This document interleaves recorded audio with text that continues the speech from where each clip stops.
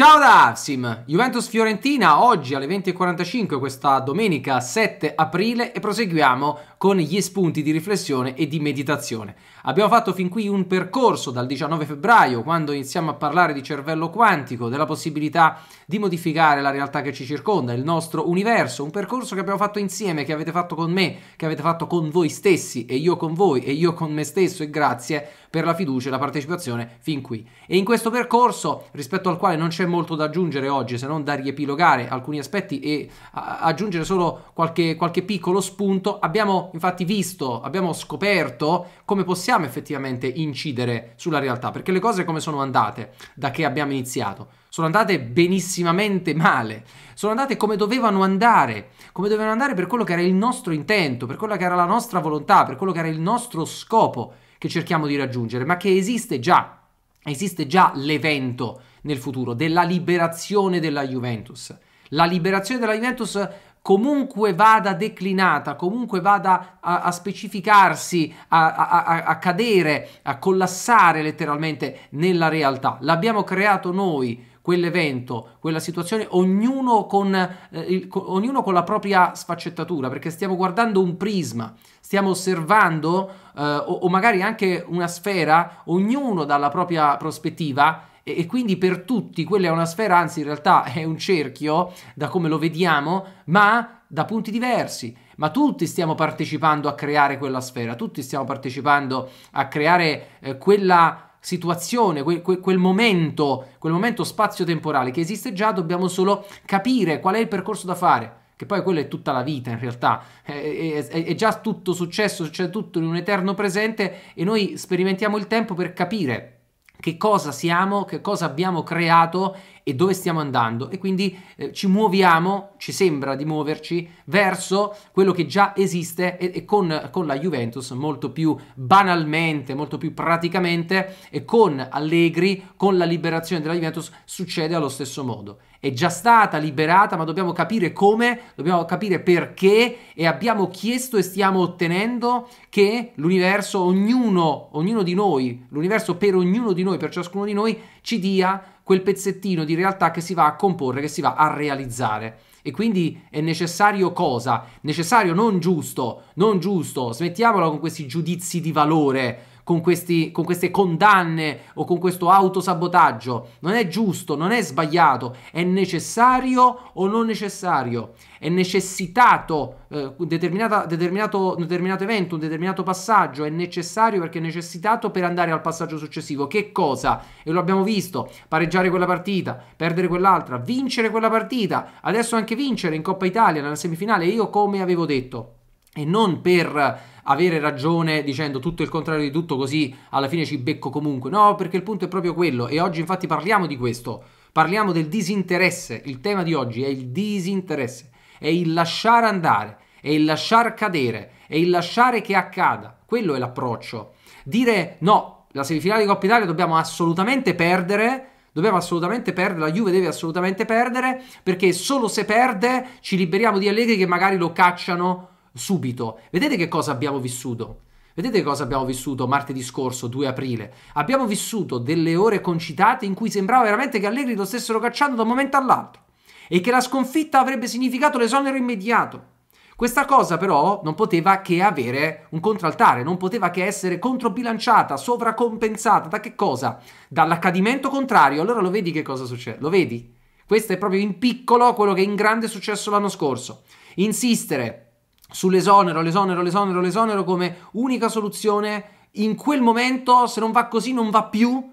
E il, e diciamo più che il fatalismo è proprio l'autosabotaggio, il darsi ragione nell'avere torto, l'auto, l'autosabotarsi, l'autodistruggersi. Che cosa ti porta? Infatti, all'evento negativo. Che cosa è successo? La Juventus ha vinto e quindi non c'è stato l'esonero. Evento negativo nel senso non che non andava bene, non che era brutto, cattivo, sbagliato, no, negativo rispetto, cioè non c'è stato l'esonero, cioè la negazione dell'esonero, negativo, quindi non esonero. Perché? Perché la Juventus ha vinto, poi noi non sapremo mai se effettivamente con una sconfitta e magari una brutta sconfitta nella semifinale andata di Coppa Italia contro la Lazio il 2 aprile eh, l'Allegri sarebbe stato davvero esonerato, quell'universo lì non ci siamo entrati Quell'universo lì non lo abbiamo voluto abbastanza, quindi non lo abbiamo voluto del tutto e quindi non lo abbiamo creato.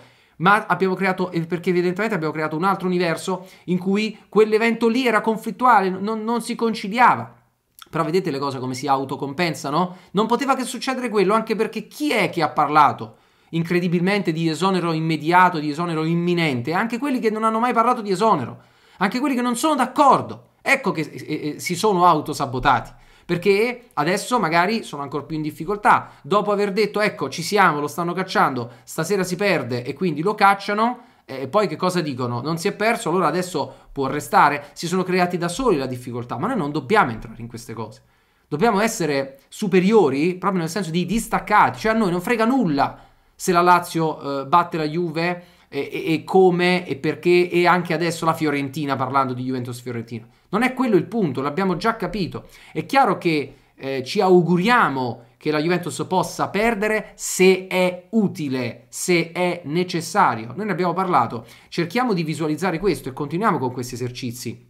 Tagliamo il filo sottile che lega ancora Allegri alla Juventus, visualizziamo che cosa faremo il 15 giugno, visualizziamo ancora, continuiamo con questa visualizzazione. Il 15 giugno, immaginate, vedete, visualizzate di essere il 15 giugno una data che abbiamo determinato per star tranquilli, per avere ampio margine eh, in tutti quelli che possono essere gli accadimenti sul, sul, cambio di allenatore della Juventus, quindi sulla liberazione della Juventus e quindi il 15 giugno aprite un social che abitualmente aprite, lo aprite, visualizzate quell'immagine, lo aprite e trovate che, l'allenatore della Juventus è un altro, c'è, c'è, un altro c'è un nuovo allenatore alla Juventus e potete anche immaginare chi sia, chi volete, chi volete che sia.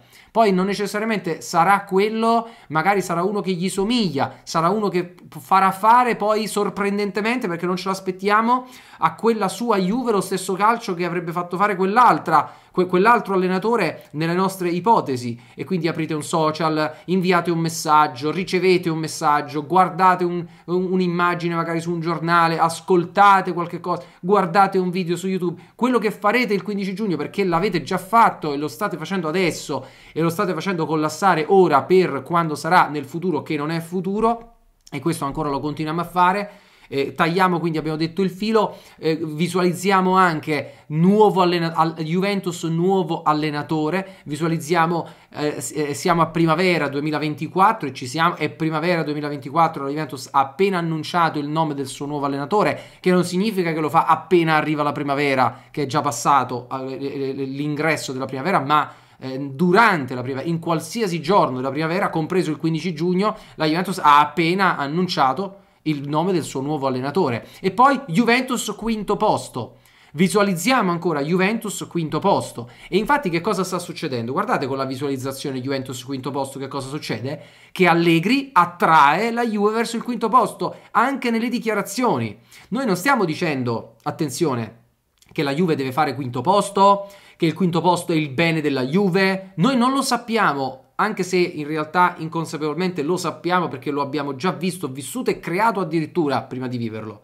Semplicemente stiamo dicendo c'è questa situazione, Juventus quinto posto, quindi il peso di queste parole, l'associazione di queste parole e le parole sono vita e le parole sono energia e le parole sono molto di più, le parole sono creazione come il suono, come il suono.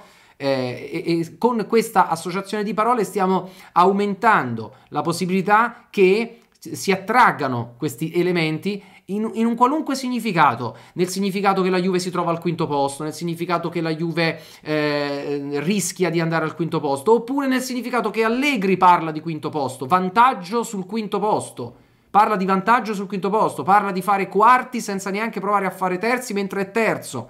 Parla di 20 punti di distacco dall'Inter come una squadra che è appunto al quinto posto, perché 20 punti puoi stare addirittura sesto quando hai 20 punti di distacco dal primo. Quindi in alcuni casi pure settimo, dipende, dalla, dipende, dal campionato e dipende dalla classifica. Allora questa visualizzazione continuiamo a farla, ma appunto parliamo di disinteresse. Un caro amico mi ha detto l'altro giorno, io ho guardato eh, tutto il tuo episodio di Propaganda Max numero 31, tutto l'episodio 31 di oltre due ore, anche se a me della propaganda non me ne frega nulla perché l'ho data per acquisita, l'ho data per assodata, non ho bisogno di conoscerla, non ho bisogno di scoprirla, non mi interessa, ma ho guardato tutto l'episodio e l'ho guardato e l'ho seguito non superficialmente perché meritavi attenzione per il grande lavoro che hai fatto e quindi per dare eh, rispetto a te che ci hai messo tutto quell'impegno a fare tutto quel lavoro, io mi sono sentito in dovere di guardarlo.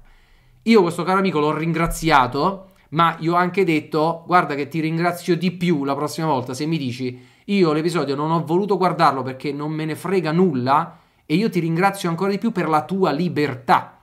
Questo per portarvi un esempio di disinteresse, di dista- ma non disinteresse nel senso di abbandono, disinteresse nel senso di non coinvolgimento. Il non coinvolgimento crea molto di più di positivo del sentirsi coinvolti.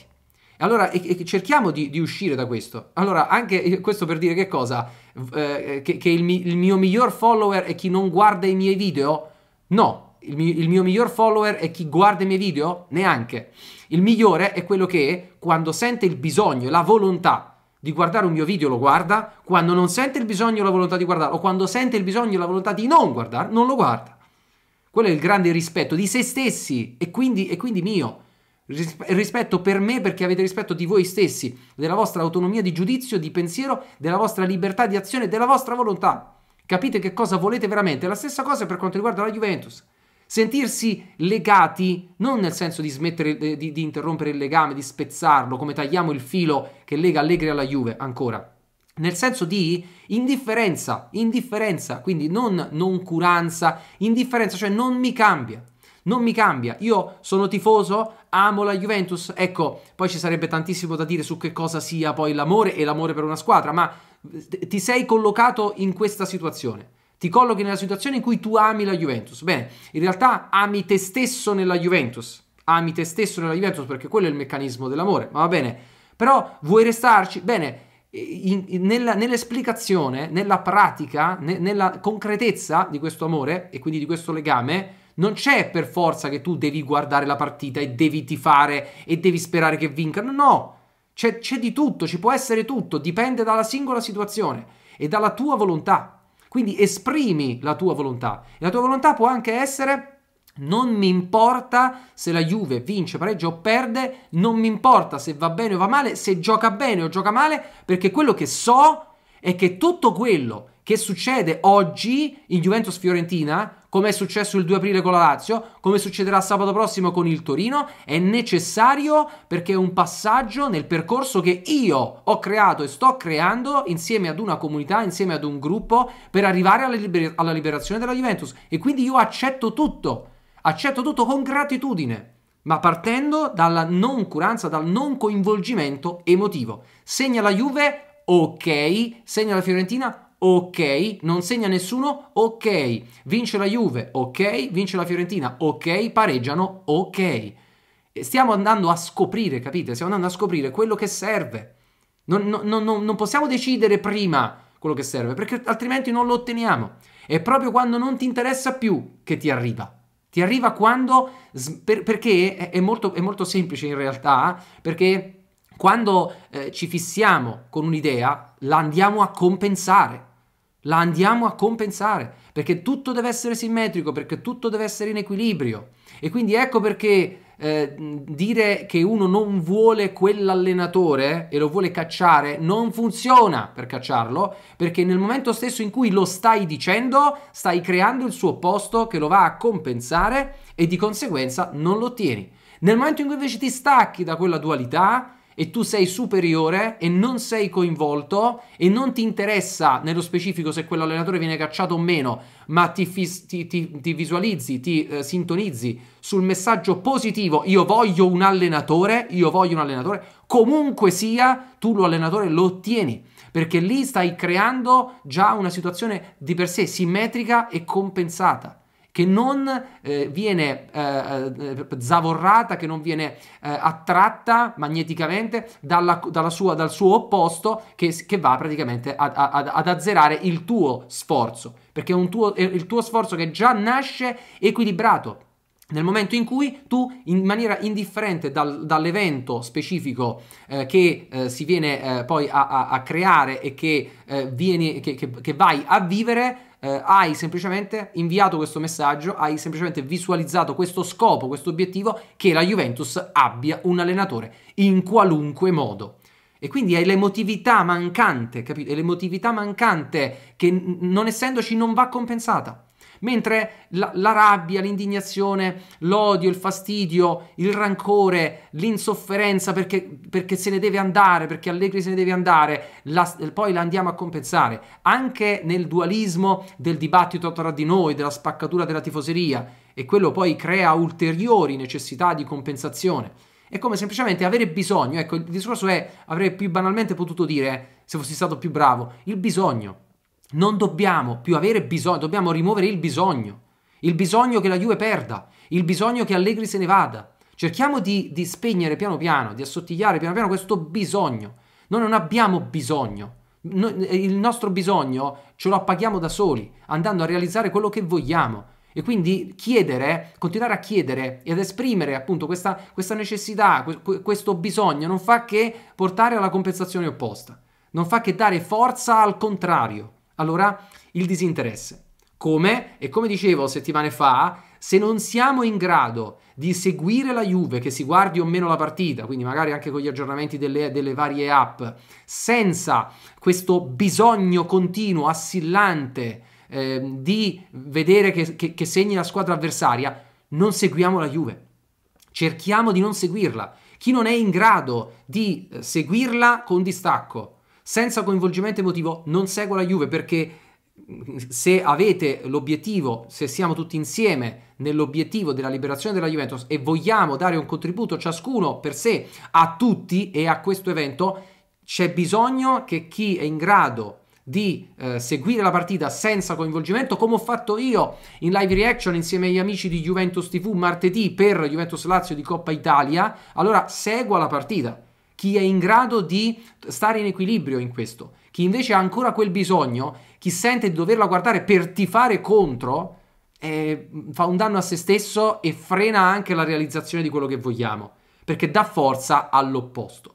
Da questo punto di vista, eh, e non ne parlo in questo episodio, ma ci sono tutti i precedenti sulla meditazione, c'è la compensazione appunto con l'amore per la squadra avversaria. Quindi dicevo, sostituiamo il tifo contro con l'amore per la squadra avversaria, con il tifo a favore della squadra avversaria, con tutti i significati che in questo caso può avere per esempio la Fiorentina. E vi invito comunque, chi vuole, visto che manca qualche ora a stasera, a fare una meditazione, una riflessione, anche quattro chiacchiere con qualcuno relativamente al bene della Fiorentina, ai vantaggi che la a quello di cui la Fiorentina ecco, ha bisogno, in questo senso ci mettiamo dall'altra parte, andiamo noi a compensare il bisogno della Fiorentina, ecco come funziona. Andiamo a compensare il bisogno della Fiorentina per quello che serve alla Fiorentina, per quello che la Fiorentina in qualche modo merita, ma merita non nel senso di giusto o sbagliato, bensì nel senso di avere creato un valore che va a sua volta compensato con qualcosa che eh, si attrae. E quindi se tu prepari bene le partite,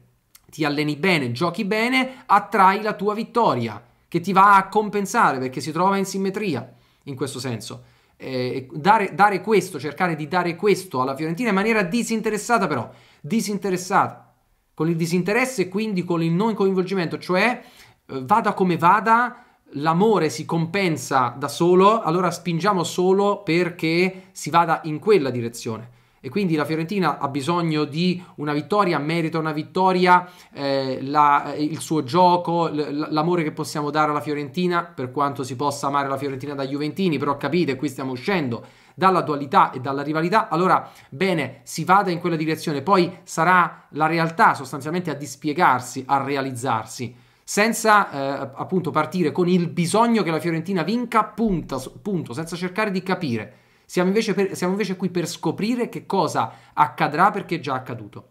Ma per non appesantire troppo questo appuntamento mi fermo perché gli spunti li abbiamo ripresi tutti quelli che abbiamo eh, già eh, esternato e che abbiamo già eh, messo in campo letteralmente nelle settimane precedenti, quindi chi mi ha seguito già sa, chi non mi ha seguito può recuperare gli episodi precedenti, a questo punto penso che farò anche una playlist o un podcast, anzi nel momento in cui ve lo sto dicendo ora l'ho già fatto nel futuro, quindi poi la, dal futuro la trovate, la troverete con le meditazioni proprio per, più che altro per dare, eh, per dare un filo a chi arriva d- dalla fine e vuole recuperare il, il pregresso, il precedente e vedere quali sono i passaggi che abbiamo fatto. Quindi eh, chi ha già partecipato già sa, già ha gli strumenti, utilizziamoli, ci sono tanti elementi simbolici eh, che però come simbolo danno forma, danno vita, eh, chi non sa può recuperare o dare il suo contributo e quindi grazie per la vostra attenzione, ma siate grati a voi stessi per quello che avete fatto e state facendo, creando la vostra realtà in cui c'è la liberazione della Juventus. Grazie per la vostra attenzione, ci vediamo molto presto e per il calcio voglio un allenatore.